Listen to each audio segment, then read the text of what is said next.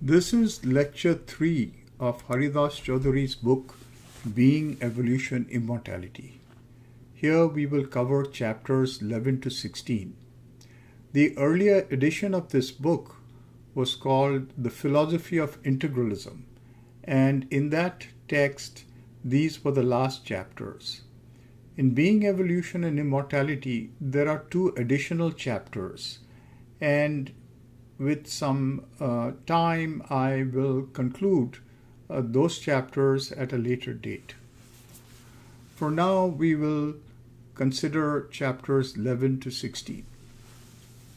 So far, in the two lectures pertaining to this book, I have looked at the two first terms of the title that is, being and evolution.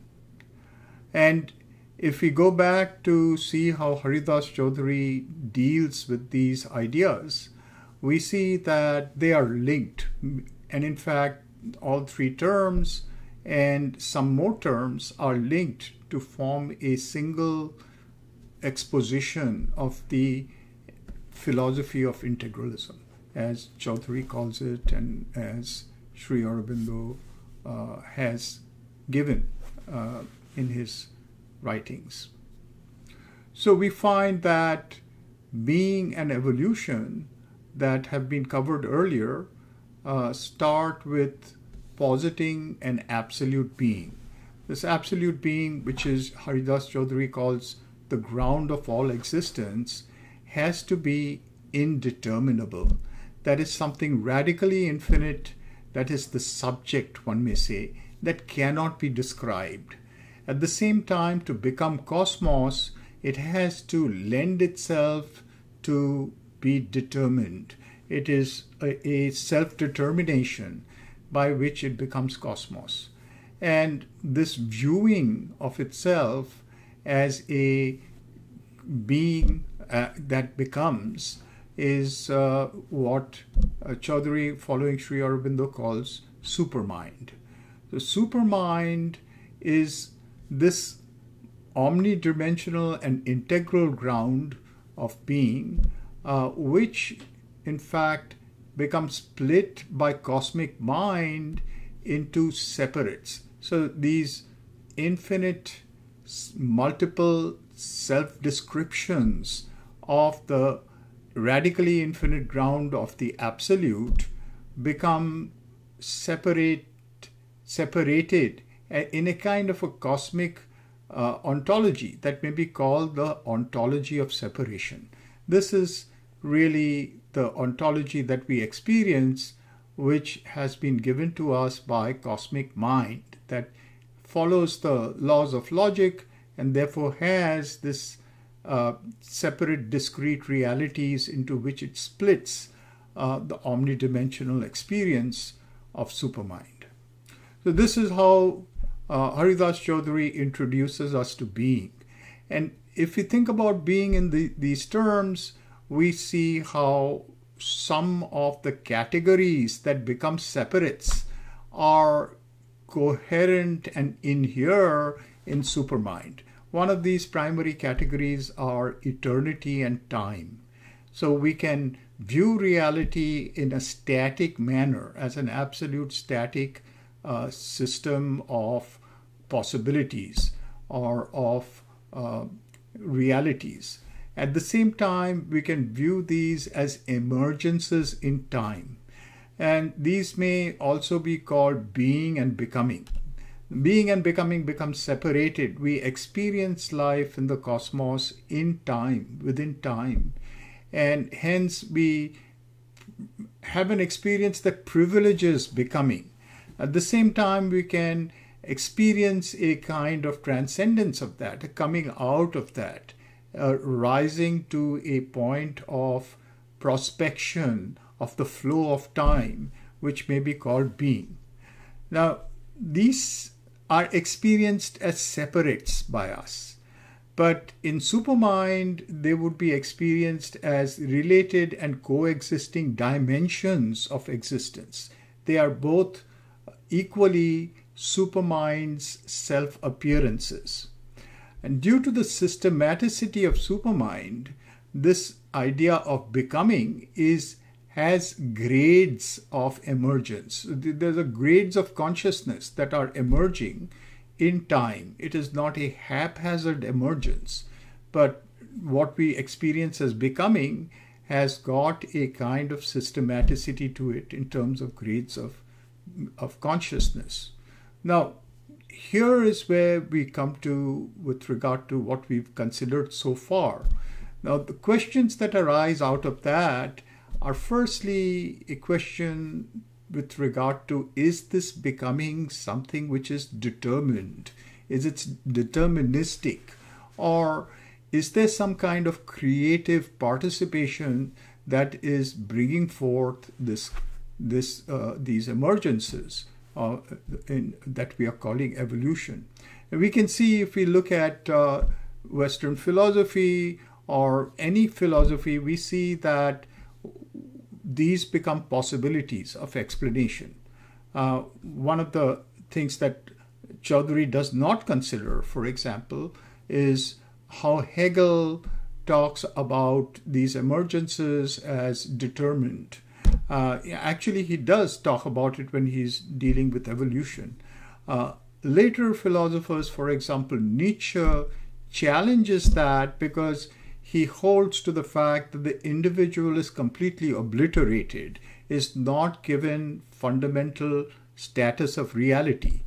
So, if we consider this question, this question of is becoming something that is determined from outside or is becoming a kind of unfoldment of a process that is participatory in which the individual is an important participatory um, element, then we have to consider the individual, the philosophy of the individual, or as Chaudhuri calls it, the principle of individuality. So, what is the individual and how do we understand the principle of individuality? Chaudhuri splits up this consideration into two kinds of views. Uh, he actually starts with the view of pluralism, but I will invert his consideration because the view of monism is actually chronologically earlier than the view of pluralism. Uh, the view of pluralism naturally is that there are innumerable individuals that are independent. Each one has got unique independence and in that sense is absolute. There is nothing else determining the individual and the individuals take part in unfolding a becoming.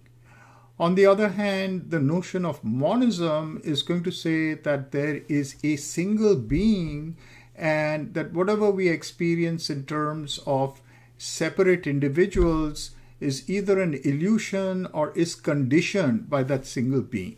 So these are the two ways in which we can look at the principle of individuality.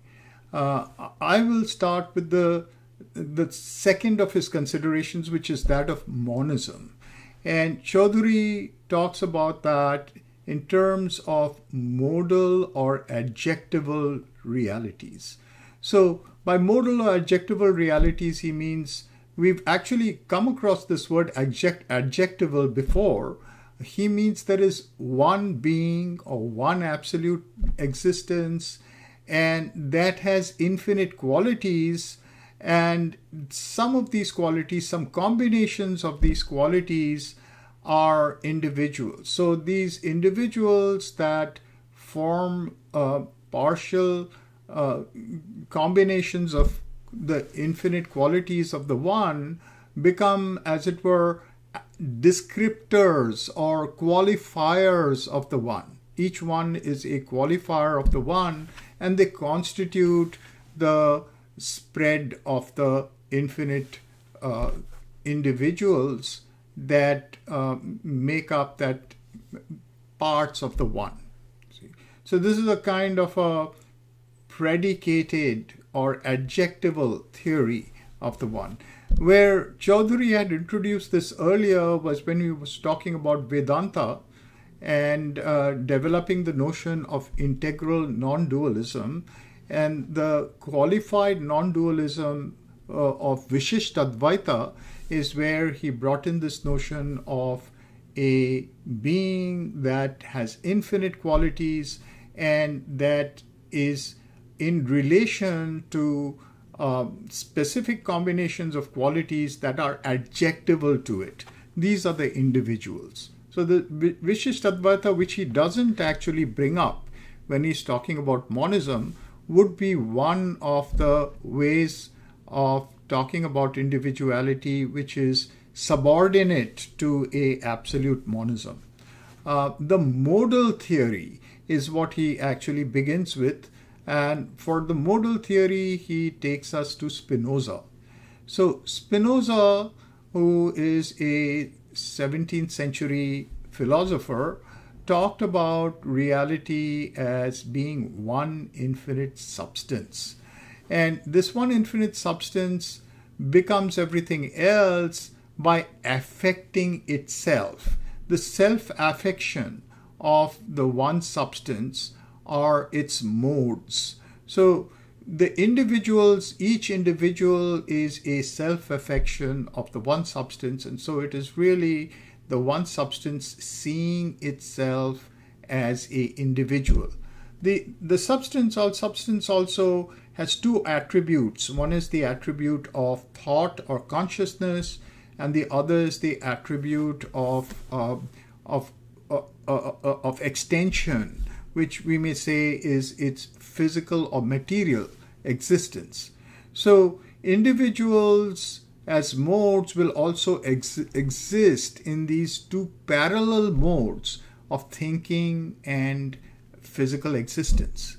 And these two modes constitute uh, the individual. They are not separated as in Descartes, but they are parallel realities of the same. So they are modes of substance that are simultaneous existences of uh, something which thinks and something which has a uh, existence in space and time as a body. So, according to this view, also there is no separate individual standpoint, but the sense of individuality is arising due to isolated standpoints of sensuous imagination.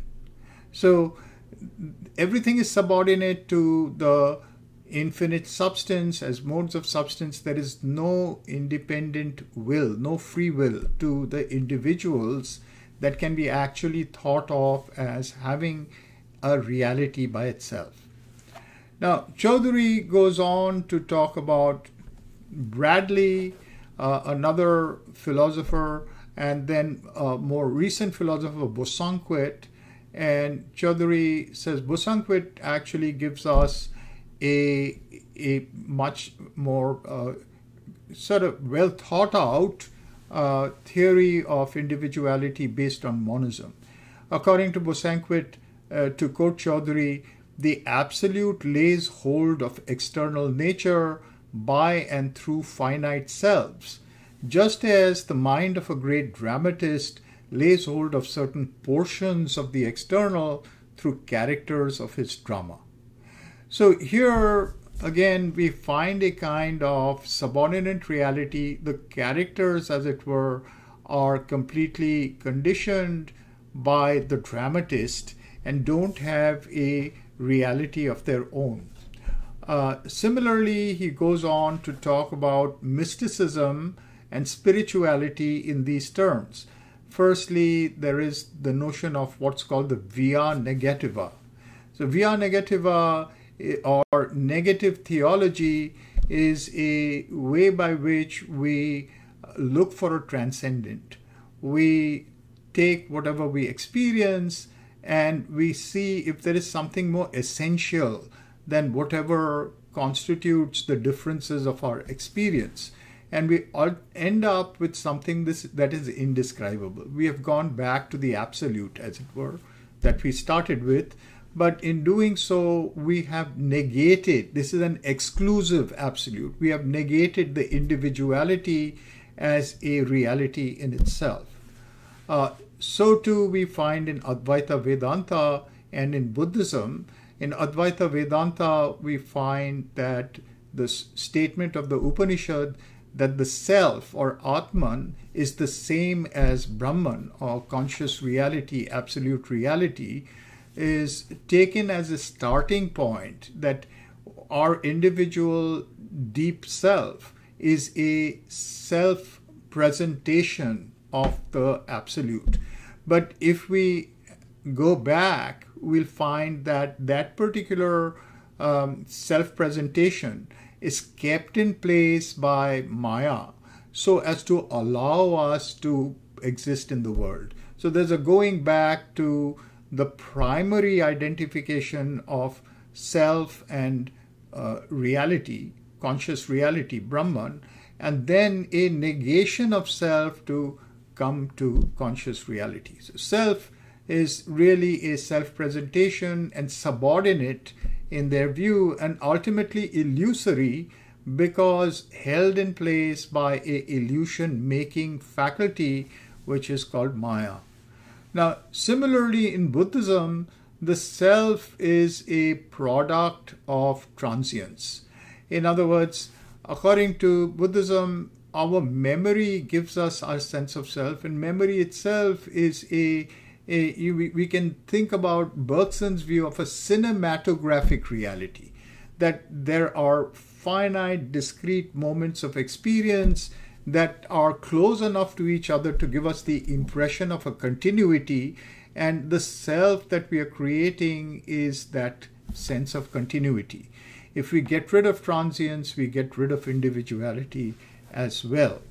So, Chaudhuri is going to sum these views up uh, to quote him by saying, individuality is an eternally cancelled unreality, and selfhood is an eternally accomplished absolute.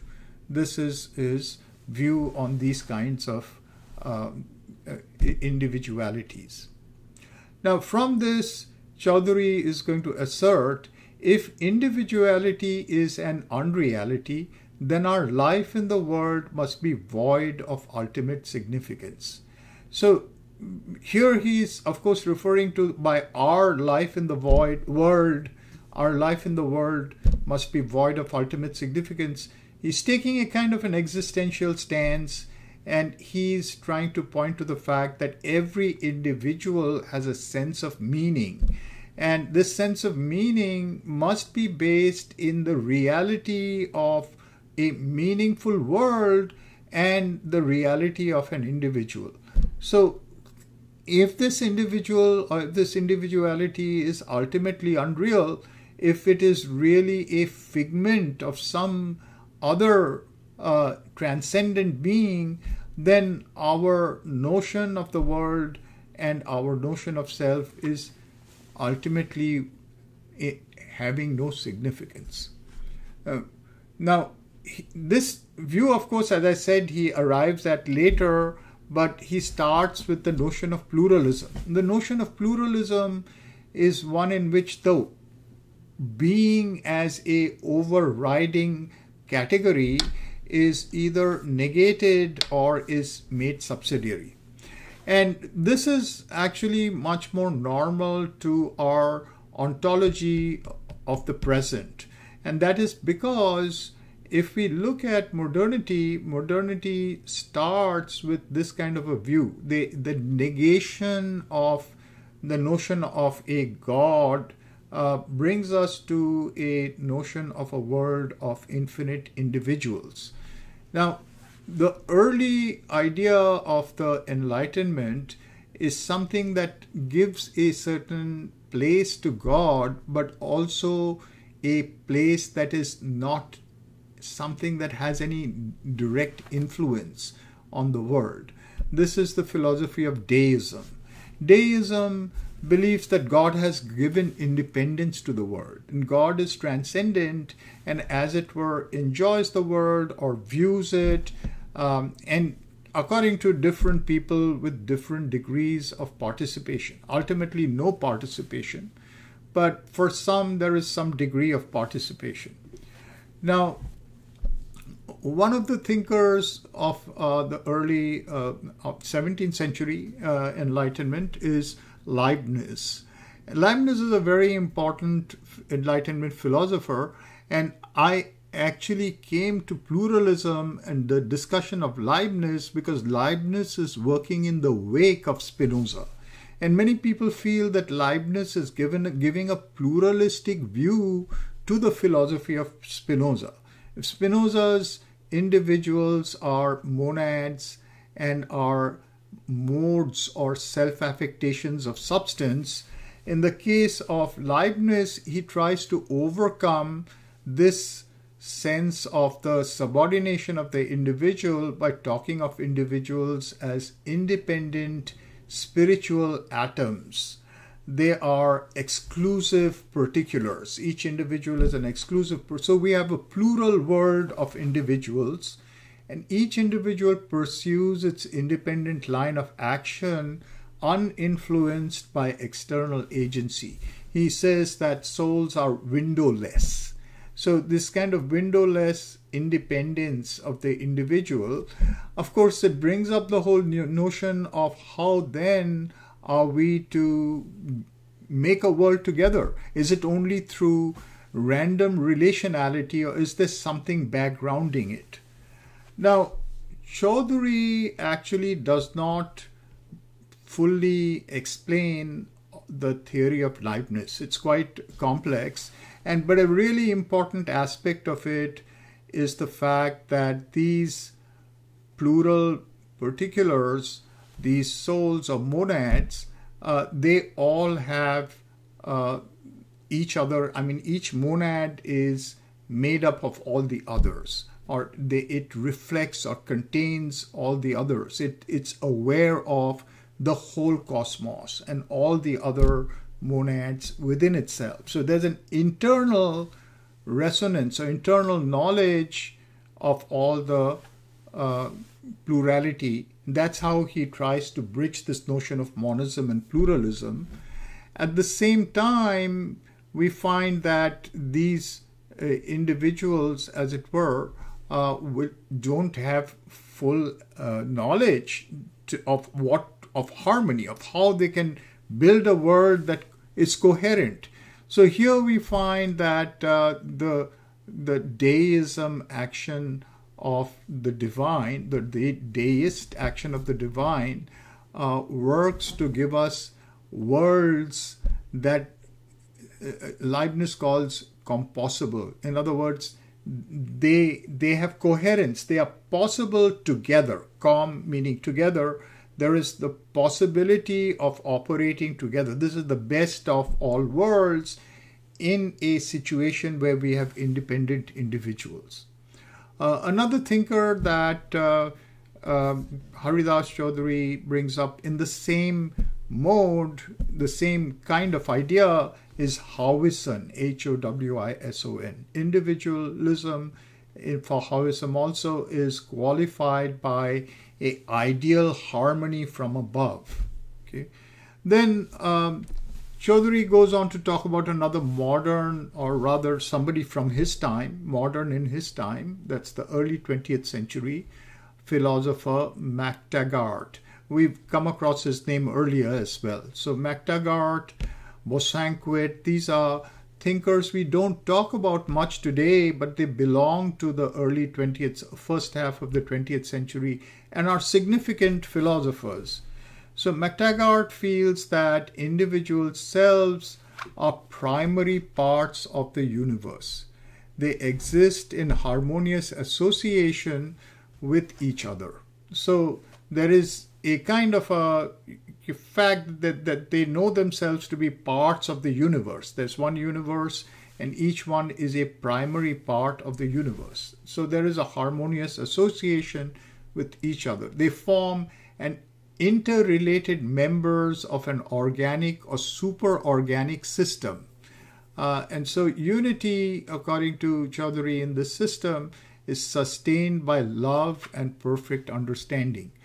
So, so on the one hand, because we can find, we can see that here there is these ideas. I mean, actually, even if you think about Spinoza and Leibniz, they're much more complex than uh, description, and that's the reason why there's been so much writing about these philosophers. And even modern or contemporary philosophers like Gilles Deleuze have taken up people like Spinoza and Leibniz and seen their complexity and tried to derive a philosophy that actually, in some ways, comes close to Sri Aurobindo in terms of being absolute as well as uh, part of the of, of the one. Uh, how can something be independent, absolute, and at the same time uh, that which is cosmic and has uh, all others within it? That that kind of an idea is what both in the case of um, Spinoza and Leibniz uh, Gilles Deleuze tries to uh, tries to investigate, examine, or even to some extent show us what needs to change. For example, in the case of Spinoza, if we take the modes and make substance revolve around the modes, modes become primary. Then we find that it is it, it it's a different way. There we have independence of individuals, and at the same time, we find that individuals are drawing on something which is uh, what he uses the term univocal, the, the, the one being that speaks as every other individual. You have, you have a connection of the two. Similarly, we find that with McTaggart, we, we find that individuals have both these elements. There's one part which is eternal, and one part which is becoming in time. He calls them sub specie temporis, becoming in time, and is progressive and moves towards ideal perfection. And the other aspect is, is subspecies eternitatis, which is the eternal aspect, which is already in possession of eternal perfection. So it's, a, it's an evolution in time that's taking place. In some ways, moving towards the idea of being and becoming as a single reality, the one uh, supramental reality, though he doesn't use it in that way. So, Chaudhuri then goes to Indian philosophy and talks about multiple or plural individuals in the philosophy known as Sankhya. So we find the individual in Sankhya is split into two a witness that is static and eternal, known as Purusha, and a mind life body complex that is unique and acting in the world that is known as Prakriti. According to Sankhya, there are many Purushas, and that, that is because there is one Prakriti. In other words, there's a single nature and every individual is a certain combination of the forces of nature with a, a, a, witnessing consciousness within, and each of these witnessing consciousnesses can realize its independence from the mind life body complex. And when it does that, it becomes free. So, if that's the case, then every individual has a separate witnessing consciousness of Purusha, uh, and we can talk about many Purushas and one Prakriti. Now, this idea of Sankhya has been adapted by other schools in India as well, such as Vedanta, that we've spoken of, the Bhagavad Gita, and Kashmir Shaivism. They have questioned this idea of many Purushas uh, by saying that we don't need many Purushas. The, there is one Purusha who, in association with different combinations of Prakriti, produce different experiencing modes. These experiencing modes are what we are in the world. There is only one real experiencer, universal experiencer, but according to the many combinations of nature that it experiences, we have uh, differences of experience. Uh, and this is the experiencing modes which are properties of nature that we may call ahamkara or ego. We have multiple egos that are qualitatively different, but the witness is the same. Now, Chaudhuri then sums up from both these considerations of monistic and pluralistic theories of individuality that individuality is neither an unreal appearance nor a self subsistent entity. So both these views are exclusives, and you can see how exclusives are the property of a mind begotten universe. So these exclusives are our entrapment in the cosmic mind, in the ontology of mind, and the ontology of separation of the mind. Now, to counterpose uh, this idea, Chaudhuri uh, starts the next chapter, which he calls the integral view of the individual. And here he will look at uh, Sri Aurobindo's view, and uh, we can consider even before we get into his arguments what is the nature of this view. The nature of this view is that the supermind or a, a absolute consciousness, absolute uh, being, a conscious being that wishes to come into the cosmos can operate on itself and become multiple a multiple self concentration multiple self uh, observations all at once it's radically infinite ways of viewing itself can become active. Now these radically infinite ways of viewing itself are uh, points of self concentration as it were. These points of exclusive self concentration form uh, individualities. So it is the whole that is also radically infinite points of self exploration, observation, and therefore individuality. Infinite individuals are nothing other than the one absolute.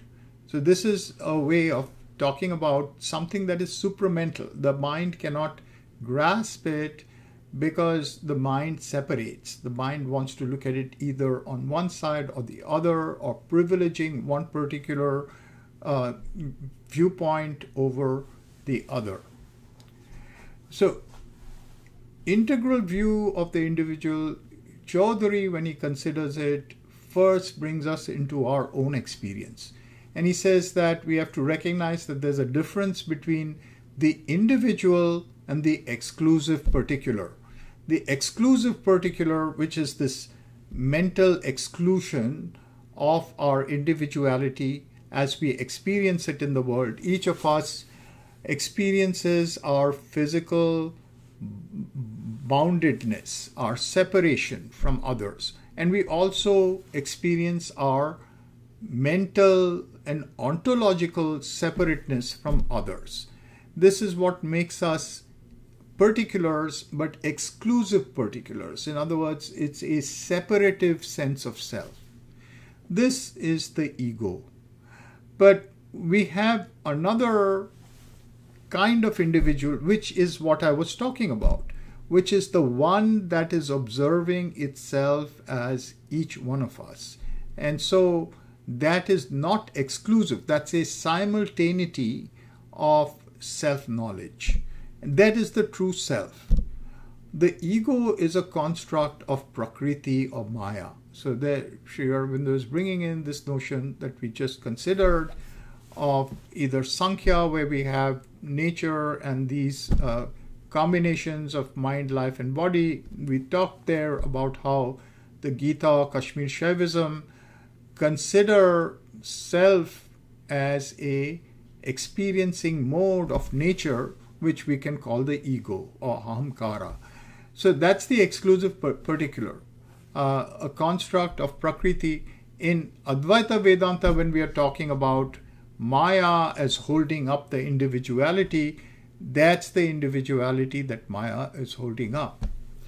In case of uh, the true self, which is within, uh, Chaudhuri, to quote him, says, individuality is a real and significant center of the self expression of being, self representation of being in infinitely diverse forms, agency by which ever new values are created. So here he's talking about what we just discussed that the, there is a, a centering of the infinity of being in each uh, individual as a point of self expression and a point of self exploration.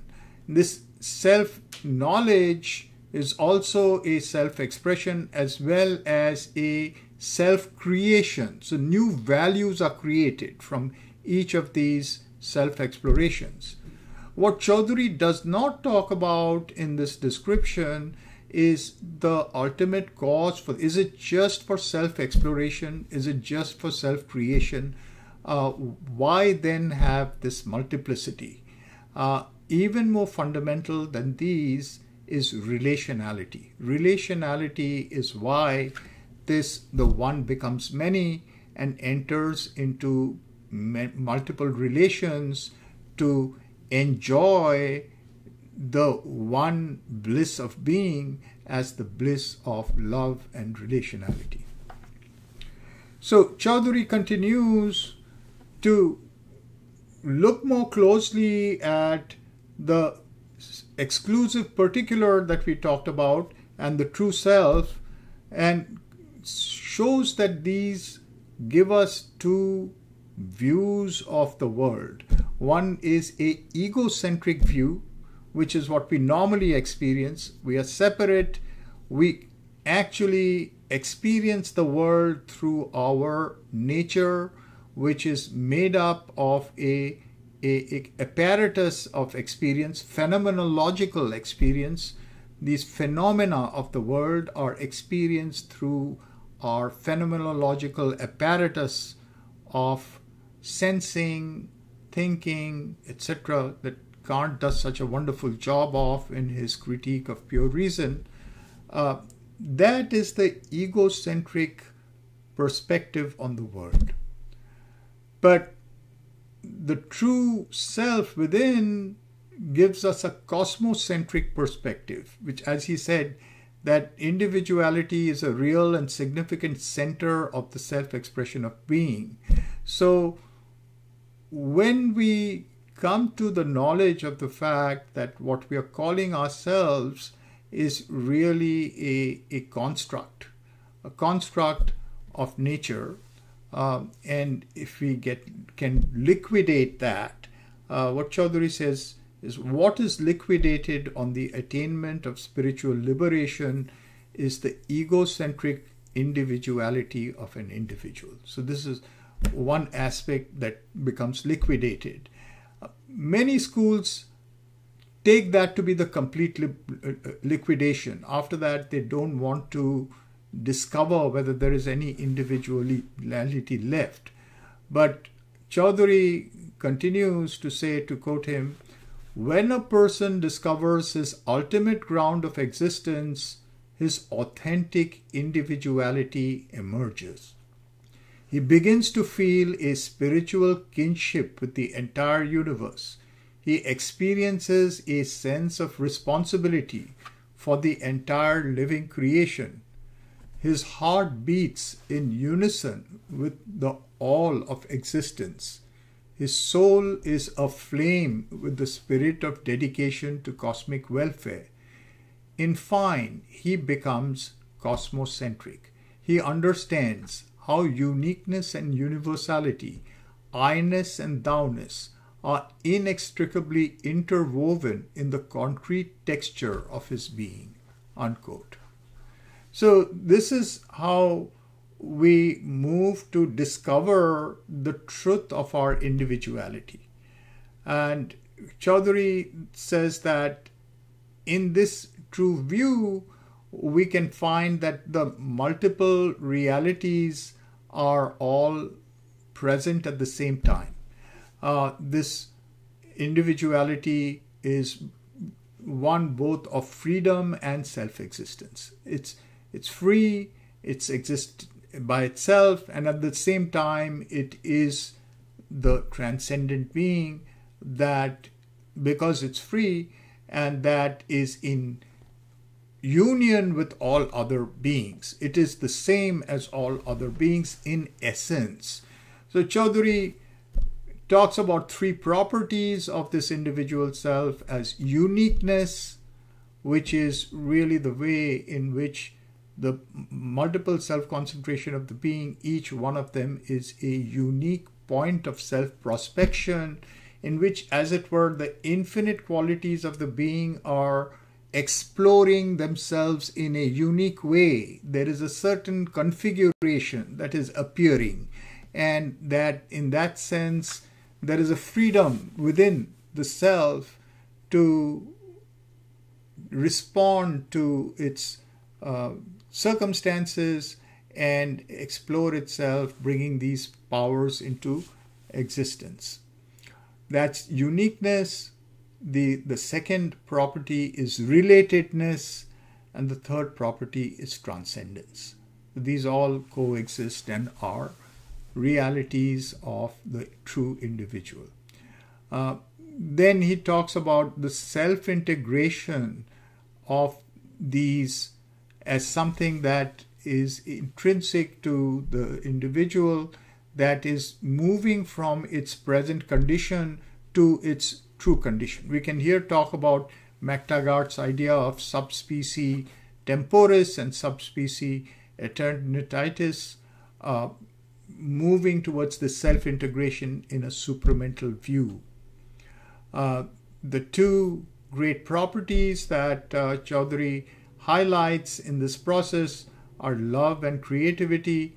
He says love universalizes individuality and creativity intensifies individuality. Both of these are transcendent at their root. Now, after this discussion of individuality, Chaudhuri moves to the consideration of immortality. And this is the third term in the title as you saw. And when we discussed evolution, uh, we discussed immortality. Uh, we spoke of the fact that uh, even when we talk about Darwinian evolution, there is the notion of survival.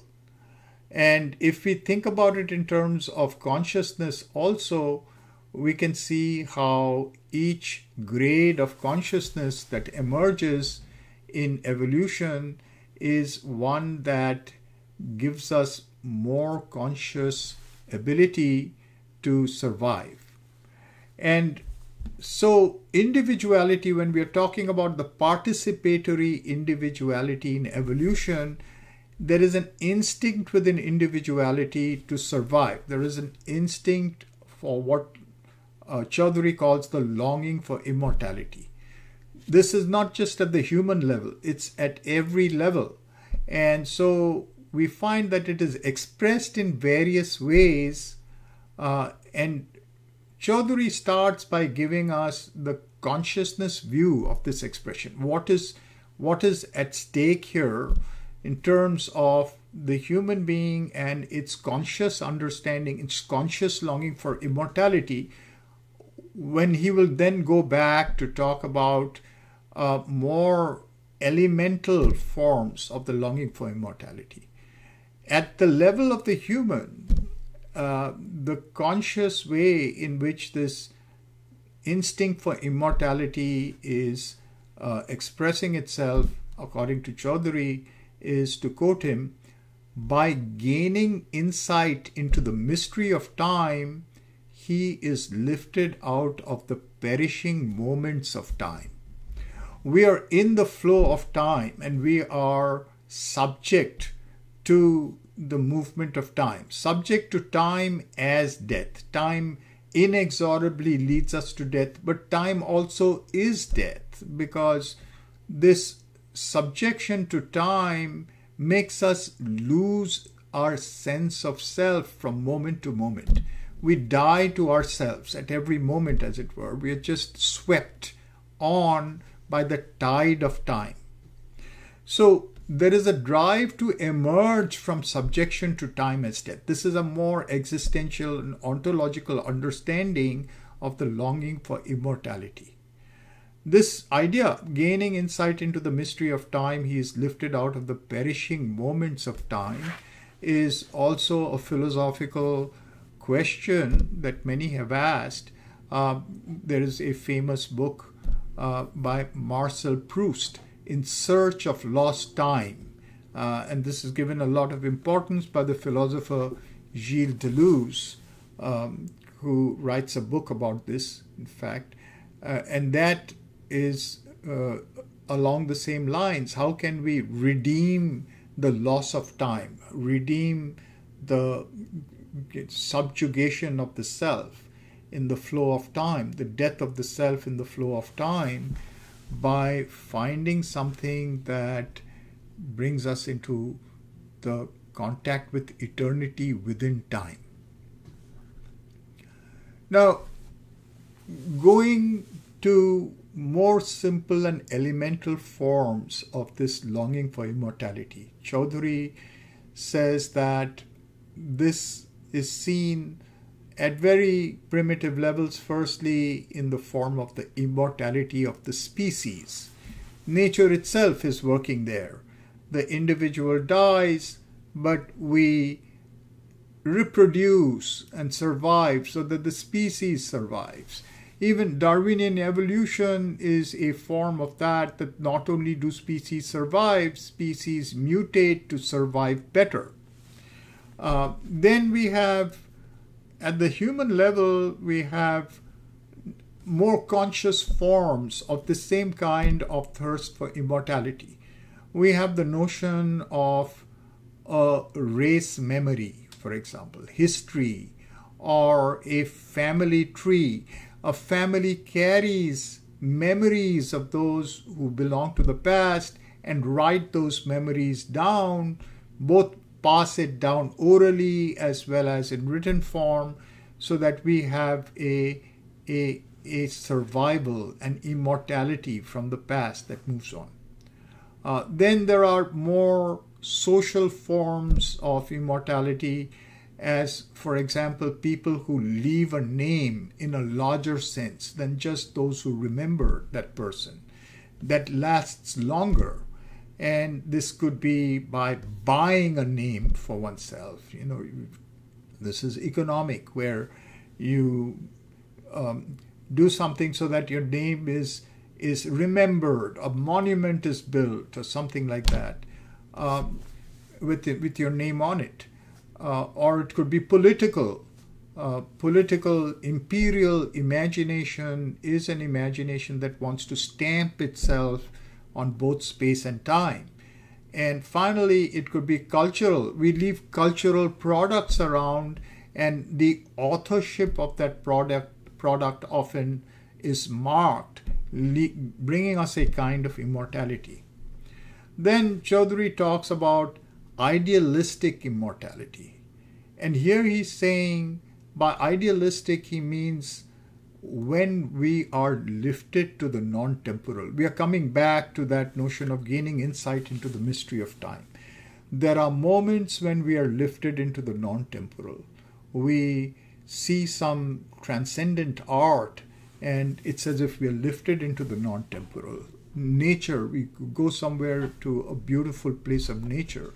We see these with, with the English Romantic poets, where the notion of nature becomes, as it were, a occasion to touch the eternal.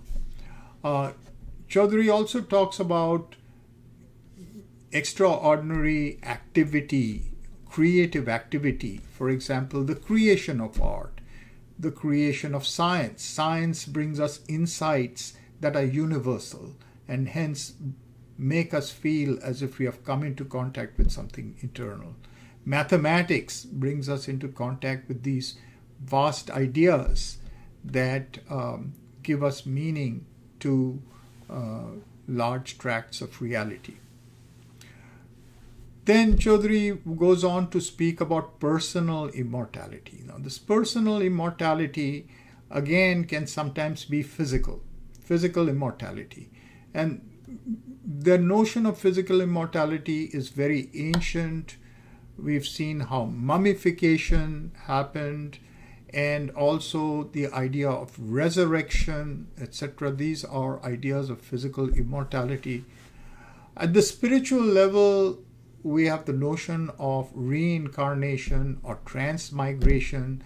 That is, that even though the body dies, something within us continues and is reborn. Now, for Chaudhuri, we see that this kind of a persistence of the soul can be in another zone, not on earth uh, after death, can be in a kind of heaven where it can be either static or dynamic. By static is meant that it's just eternal, by dynamic is meant that there is some kind of progress that takes place even outside of this life in the spiritual part of our being, uh, the soul or the reincarnating part. Um, Chaudhuri invokes Vaishnavism, for example, that talks about fulfillment outside of this domain of death haunted uh, material life.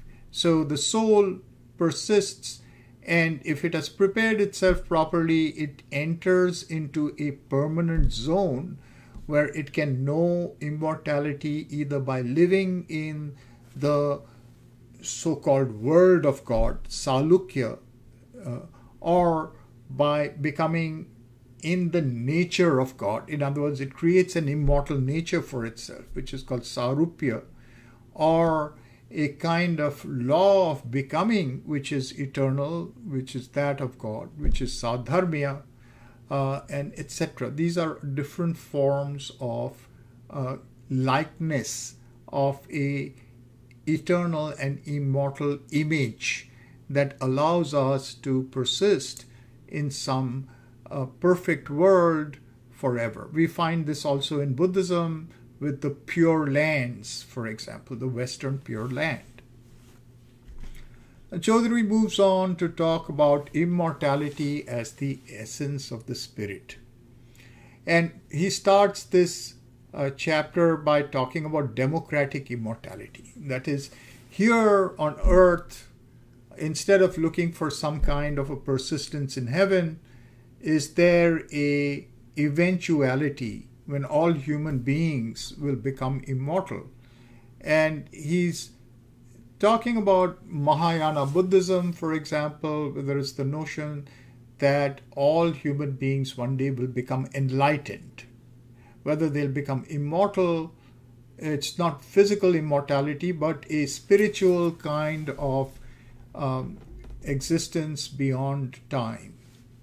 Uh, again, he doesn't mention Radhakrishnan, but Radhakrishnan is an Indian philo- modern philosopher whose view of Vedanta is of this kind that all of humanity is moving to a point where everybody will become liberated and become eternal. See? But Chaudhuri contests these views by saying the eternal can be realized at any moment in time. It is not so much a eventuality, but it has to be attempted at any time. The eternal can be realized at any moment in time. So, what is it that in, in us gives us a contact with that? Uh, these experiences we've discussed, but these experiences are sporadic experiences there is something in us that is eternal, and that again is the true individual. And uh, Chaudhuri is going to point to that as the reincarnating center in us. It moves from life to life. Uh, this reincarnating self is called the psychic being by Sri Aurobindo. Uh, normally, this reincarnating self is something that forgets after every life the circumstances that it has lived and returns, as it were, in a new life as if it never experienced anything before, unless there is some way by which we open the doors of its own experience. But if by yoga we try to come into contact with that particular part, we may know continuity in consciousness. We find something in ourselves which is eternal, which has lived before and will live before, and even in our passage into other lives, we carry that stream of continuity. This is the experience of a temporal eternity. Now, similarly, we find that there's the possibility of rising to a transcendence that we've already talked about in Advaita Vedanta, for example. The consciousness rises to a transcendence. And we can try to experience the two as one, the temporal and the eternal. And we go back now to the starting point of what we were saying with regard to um, evolution, being, evolution, and immortality, that the eternal and the temporal, being and becoming, are to be known at once. Even in ourselves, they are to be known at once. So, this is the message of the Upanishads, particularly of the Isha Upanishad, which Sri Aurobindo translates and comments on. And to know that is one way by which we can find a supramental status of the eternal. So Chaudhuri talks about four aspects of this kind of eternal. This this status we talked about is a status in consciousness. It does not matter if I retain this body or not, this nature or not. Even from life to life, there is an eternity, and outside of all lives, there is an eternity, and the two are one. But there is a way by which we can bring that eternity into our everyday life and into this body. And that is what Chaudhuri, following Sri Aurobindo, is going to talk about as the four aspects of immortality. The first of them is the individual discovery of a non temporal dimension. This is what we are seeing. The, both of these are non temporal dimensions in time and outside time either one of them is an individual discovery of a non temporal dimension, if we can live in that, we experience a liberation in life known as Jivan Mukti. The second aspect is the conscious unity with the infinite without loss of personal existence, becoming cosmocentric. So here it is not merely an individual discovery, but our knowledge of the individual being a part of the whole, the eternal, the eternal and the temporal. So there we are united with the infinite without loss of personal existence, becoming cosmocentric. Uh, Chaudhuri uses the Sanskrit term sarvatma bhava. Uh, bhava. Then the third aspect is the intelligent participation in the creative advance of life.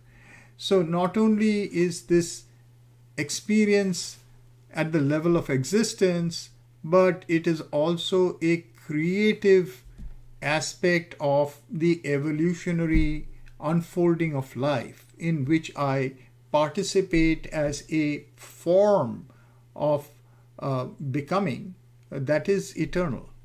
And that creative uh, participation, evolutionary participation, he calls sadharmya mukti. The dharma is the law of becoming, sadharmya mukti.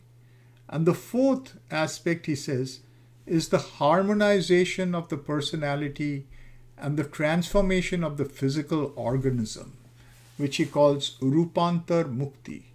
Now, harmonization of the personality and transformation of the physical organism means to bring this power of individual eternity into the nature, the mind, life, body aspects of the nature, and make them all resonate to that power of eternity so that they themselves become, as it were, eternal. Ultimately, uh, a supramental body, according to Sri Aurobindo, is one that is immortal. And that kind of immortality is a culmination at the physical level. It is not like searching for physical immortality either by some kind of medical means or by some kind of occult means as through mummification, but as a consequence of the experience in consciousness of eternity. That eternity is translated into the nature bodies and becomes both mental, vital, and physical immortality. Now, that in a way gives us a well rounded understanding of the title of Chaudhuri's book, Being, Evolution, and Immortality. But even in this earlier edition, Philosophy of Integralism, Chaudhuri continues to consider one other important issue that is uh, philosophically debated and that has its own solution in the philosophy of Sri Aurobindo. This is the problem of evil that is known in philosophical terms as theodicy. So, Chaudhuri first presents the problem. He presents it in terms of Hume, but Sri Aurobindo himself has presented that problem in a very succinct form. He says, A God who tolerates suffer- suffering and evil is either impotent or perverse. This is Hume's argument and Sri Aurobindo's statement of it. A God who tolerates suffering and evil either doesn't have the power to overcome it, is impotent, or has the power but willfully or willingly uh, subjects the world to evil and suffering. So is perverse. Now we have to ask the question what is evil? Uh, Chaudhuri gets to that later, uh, and so we'll do that as we go on. Uh, but what he what what we can talk about right in the beginning in terms of how we understood evolution is that if evolution is a kind of process in which uh, that which is fully conscious loses itself in a inconscience, then this self loss is attained through a will to forget. And this will to forget uh, retains itself. It, gives it an independence just, uh, just because of the function of mind. As we said, mind highlights every feature as an independent reality. So whatever enters into a mind controlled cosmos is given its independence. And so we see that the will to uh, to to involution, the will to self-forgetfulness is operative as an independent principle in the world. This is the foundation of evil because there has to be a pressure against that to overcome that. At every stage, there's a struggle against that. That is given ontological independent right of existence in the cosmos. Anyway, that we can come to later and see how uh, that uh, ties up with uh, the rest of the theories that Chaudhuri is going to consider. He starts by talking about Plato, who says that evil and suffering emerge because of our subjection to matter. Matter is a form of non being. Uh, as we know, Plato talks about the two worlds, the ideal and the empirical. And uh, the ideal world is perfect, it is ruled by the perfect ideas. And the empirical world is something that emerges in matter which is a form of non being and hence contains the negation of the powers of the ideal. So, because of that subjection, we experience evil and suffering. Now, this kind of an idea uh, gives ontological reality to the material world. And this, like a ontological reality that is permanent. There is no change. There is no evolution here. And this also is the view of most of the Indian spiritual schools. There is no evolution there. There is two permanent zones. One is the zone that is perfect, the other is the zone that is fallen.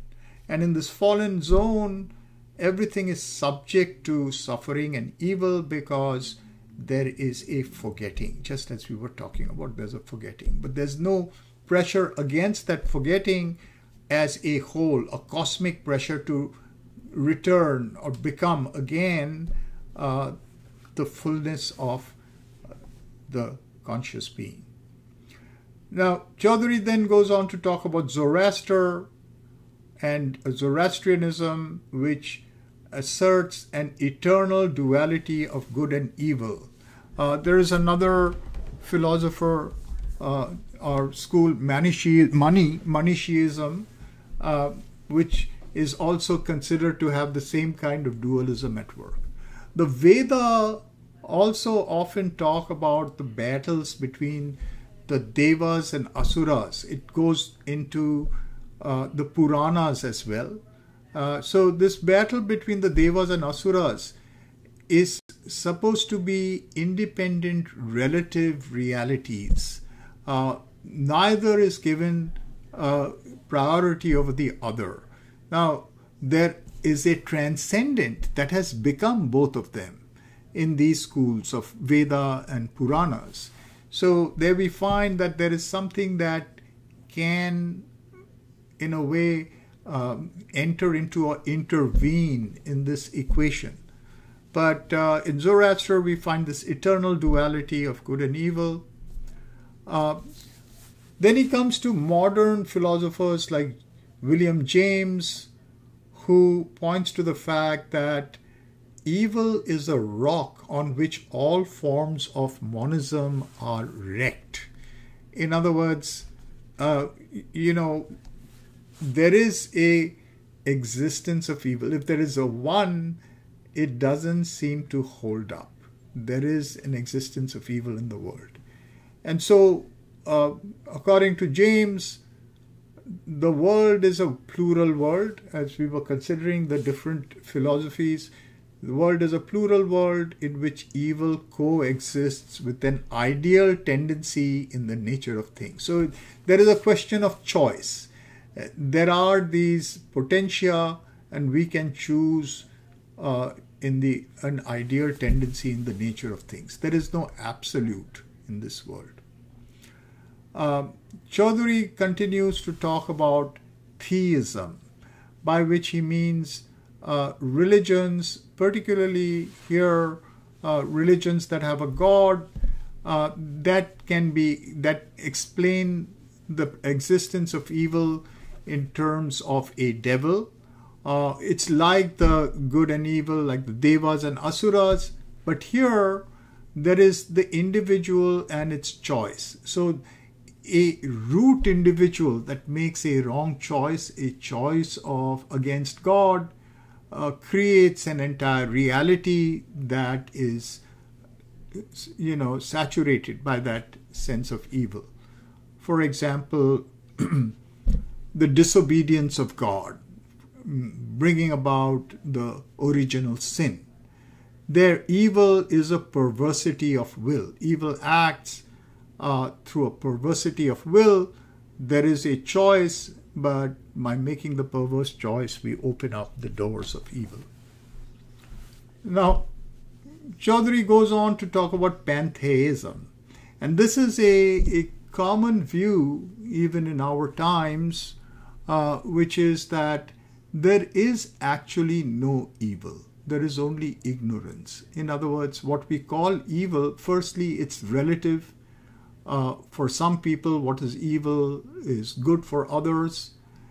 And on the other hand, if there is the overcoming of ignorance, that which we thought, thought was evil will not happen.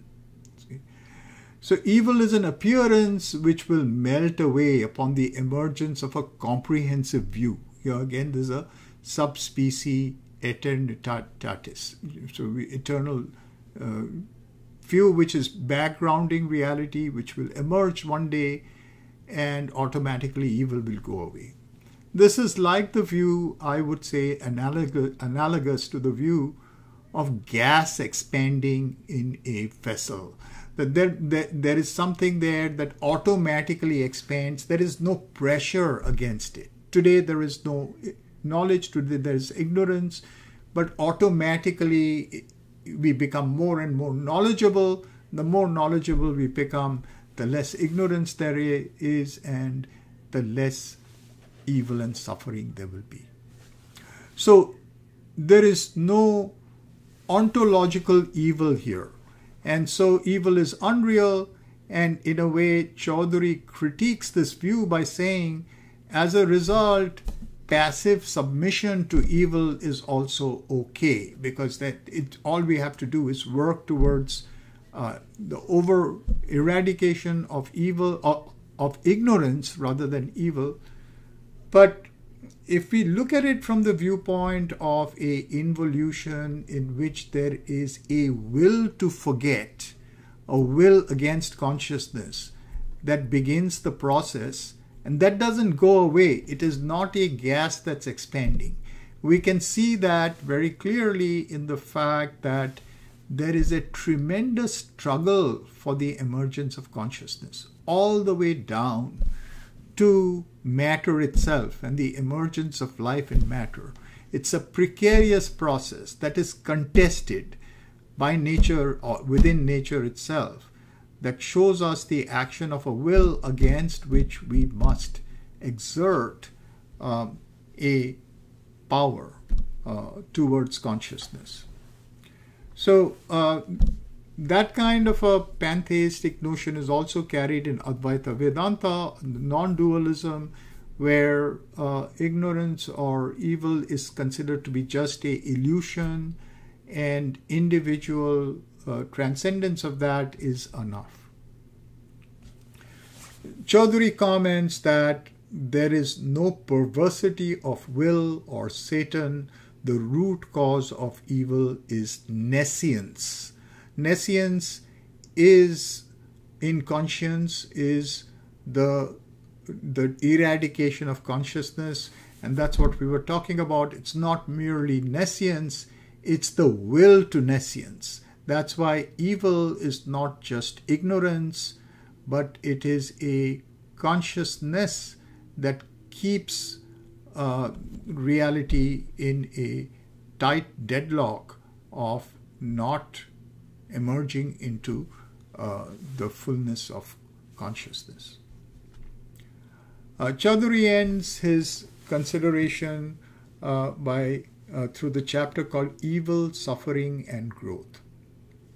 There he takes these views that are there with many people who try to make sense of the of the suffering in the world. Here he's looking at evil, you may say, is the circumstance and suffering is the response. So, from the viewpoint of subjective response, uh, one of the views is suffering is a necessity for growth. Many people think that you know adversity is our greatest uh, you know teacher. Suffering is necessary for growth, and Chaudhuri says that's like making a virtue of necessity. Uh, suffering is not something that we should uh, hold up as a virtue. Uh, we, we are faced with suffering, we are faced with a will against consciousness, we struggle against it, and we do grow from that. But that does not mean we accept that as a eternal condition, and for the reason of growth, it has been given. Uh, he does not consider another view, but a, a similar view can be uh, considered by us, and that is the n- notion of suffering as the result of karma. Uh, many people who believe in karma today, uh, in India for sure, and in most uh, Asian countries, but certainly across the world now, people who have accepted the notion of karma feel that it is a theory of retribution or a theory of um, mechanistic consequence. If you do good, good comes to you. If you do evil, evil comes to you. And it can come to you in other lives. And so, something, suffering that happens to you, you can justify it by saying, I did something wrong in my previous life.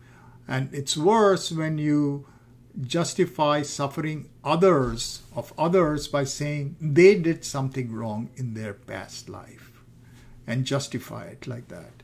Um, that is a wrong view uh, because, in a way, karma does not work like that. Karma is really about evolution. Karma is about the fact that if we take certain actions, we build a momentum towards a greater consciousness or against consciousness. Again, these wills that we're talking about act in our lives and we carry it from life to life, not necessarily a, a orientation which is retributive.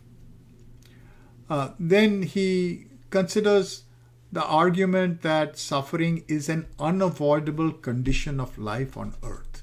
So here there are people who feel that because we did something wrong, we were born on earth. There are many Puranic stories like this. Uh, great gods, etc., who did some mistake, uh, have to take a number of lives on earth to endure suffering. In other words, it's kind of like a hell and hell experience. And this also, Chaudhuri uh, does not endorse this view. Then there's the notion that we thought of earlier about ignorance. There's no evil, just ignorance itself brings about suffering. And from this point of view, since ignorance is intrinsic to our condition, there's nothing to be done. As we said, uh, we accept ignorance. Some views uh, are that the way to deal with suffering in a world that is ignorant is to look at our experience impersonally.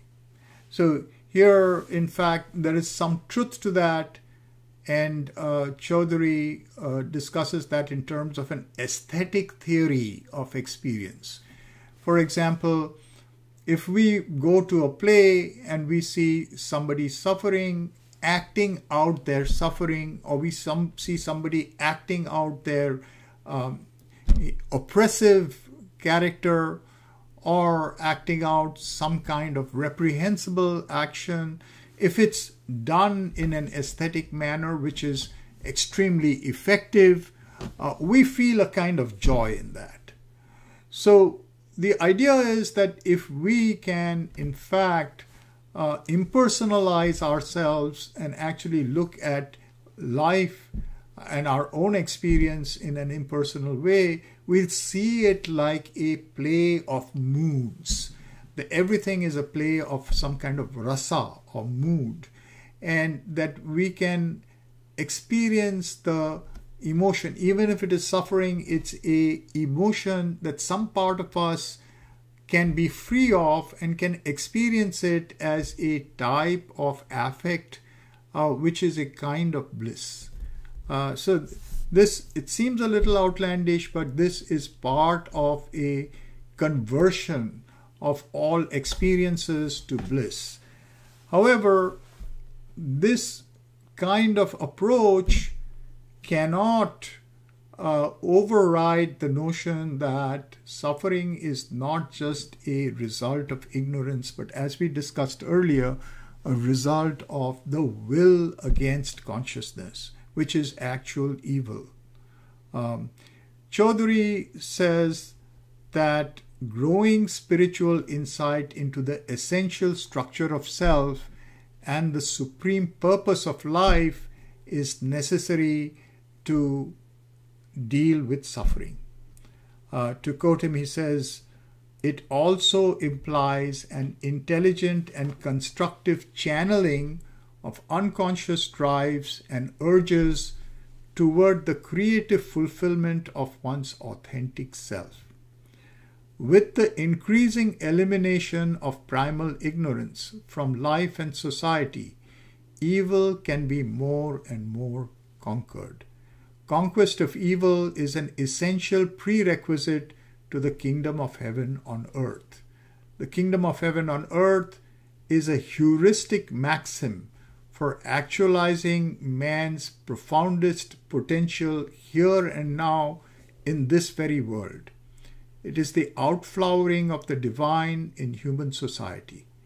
It is the eventual triumph of light and love over darkness and hatred, of knowledge and freedom over ignorance and bondage, of justice and peace over barbarism and war. Unquote. Here we can see that suffering and evil are not something to wish away. It is something in which we participate. We we struggle against. We bring out our own powers. Uh, we bring out the power of consciousness.